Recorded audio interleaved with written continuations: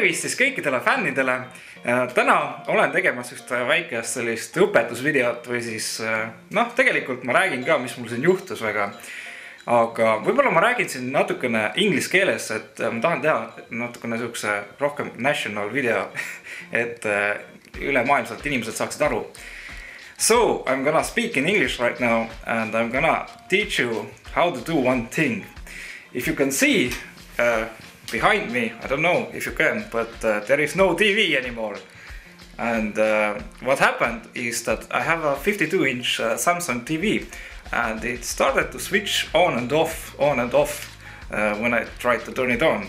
And uh, eventually it just uh, didn't even go on.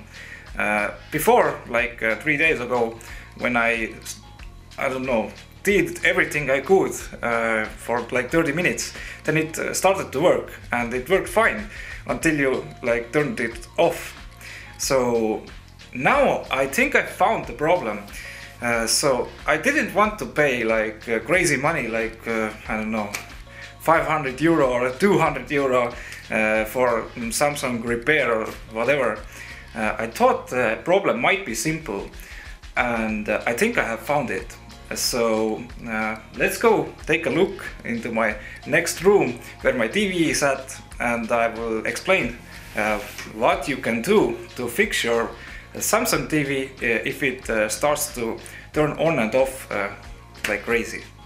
So uh, without any pause I'm gonna go into my messy messy room and here is my TV that is taken already apart it's really easy to take it apart. There's just screw holes, regular screw holes, and uh, just open it up everywhere you can. Also, you have to dismount the wall mount to take the lid off completely. So after you do that and take take it off, then you should see the, uh, how to say the power supply unit here. It's uh, like a motherboard or something like this. Uh, and uh, you have to just take apart these uh, cables everywhere. It's really easy and uh, they pr pretty much uh, uh, stay there where you took it off so that you don't need to remember where the cables went and also there is not much cables as you can see. So let's move back into my other room where I have the motherboard taken apart. Or not the motherboard, the power supply unit. Uh, it is right now here. So, as you can see, uh, there is uh, like this part here. Uh, you can see hot and cold. And the main part of the, problem the problematic part are these, uh, uh, how do you say them, capacitors. And if you can see, if I can zoom in and I don't know if you can see that much, uh, it's not that much, but uh, you can see that they are not fine. These two capacitors need to be replaced. Uh, perfect ones are here, it's flat and smooth, this is how it's supposed to be, but this has like uh, come upward from inside, and that means they are faulty. My TV is like 3 years old and worked most of the time 24-7, uh, so it's the... I can see where the problem comes.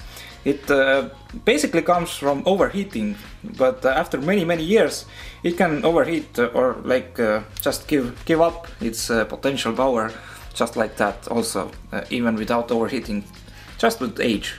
So when you look closely on the capacitors, you can see how many volts it has, and what was that other one?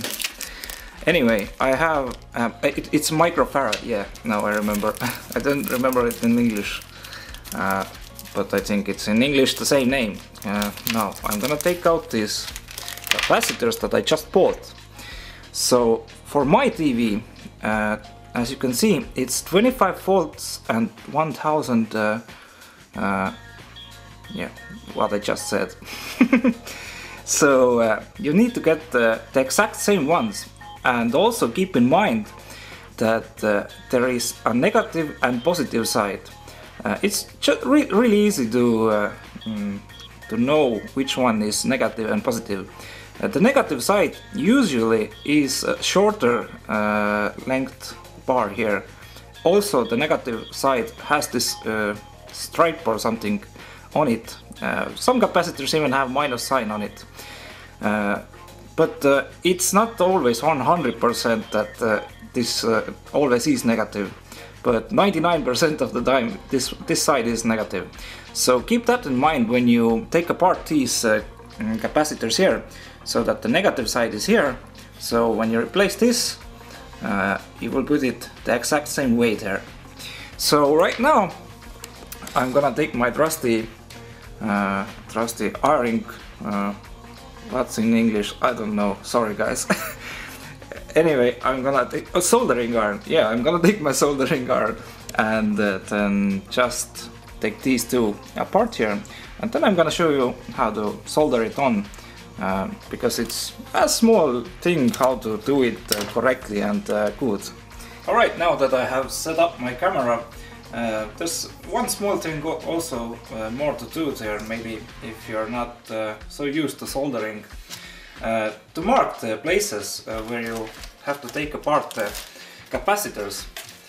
So because there's so many places you can actually like uh, by fault just remove the wrong part. so as I can see here it's this one and this one here and then this and this. It's really easy. I pretty much already know it. It's no brainer, but uh, you can, you don't have to do it, but uh, I like to do it so I don't mess up anything. And uh, even if you look here, there's uh, a positive sign and a minus sign over here. So you know exactly how to put the capacitor there.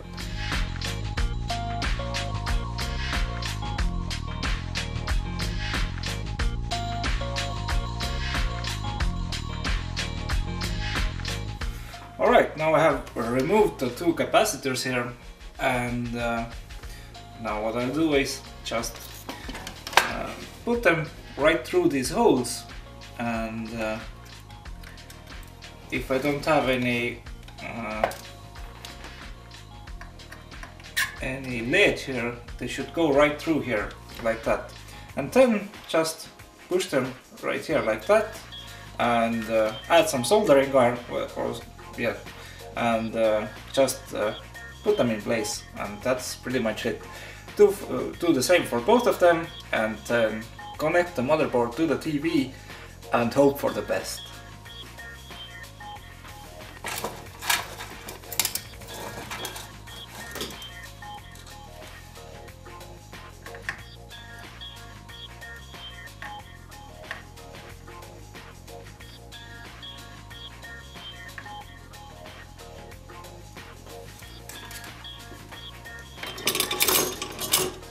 Also one thing, don't forget to uh, clip off these uh, uh long wires here. And uh, maybe even after you have soldered both of them together here then uh, just clean it with I don't know some alcohol or like pure alcohol or like this white spirit. It's a I don't know if you can understand here or if it's in English written here uh, but anyway, it's uh, something you would clean like uh, paints or something like that. So it's uh, pretty hardcore stuff. so you can put it there and just scrub all the excess uh, material off just in case. Alright, now I'm back at the TV and I have put the power supply unit inside the TV bracket here. I haven't screwed any screws in because I just want to test this thing out if it uh, actually works. So when I plug it in, it shouldn't like uh, disconnect itself like on and off, on and off. It should go just on and stay that way. So fingers crossed uh, that it would work. I will uh, connect the last cables here and uh, yeah, that's pretty much it. I've disconnected all the other cables. So let's see what happens. And voila works. If you can see uh, it doesn't switch off again. It stays on. The lights came on. Everything working. This is how we do it. No uh, expensive $200 repair. So I hope uh, you like this video and you get your TV fixed also. So now I'm gonna go back and try to install this huge TV on my wall. Alright, so I'm back here uh, next to my TV on the wall again. Uh, these are the two uh, capacitors that uh, were faulty. I don't know what will I do them, but it will be a nice memory. So now uh, you can see, I don't know how good you can see from there, but the red light is just on and it's not uh, blinking or clicking anywhere, anything like that. And I can just turn it on here and no problem. I could use my PC once more and uh, do some more video reviews of uh, video games and stuff like that. So I can tell you how happy I am right now because I really don't have uh, enough money right now to spend on a high-end 55 inch 3D TV. I'm gonna do that someday but not quite now. Anyway, so long story short, if you have problem with your TV, uh, maybe Samsung TV that uh, switches itself on and off uh, till infinity, then this is the problem and I hope you get your TV fixed like that.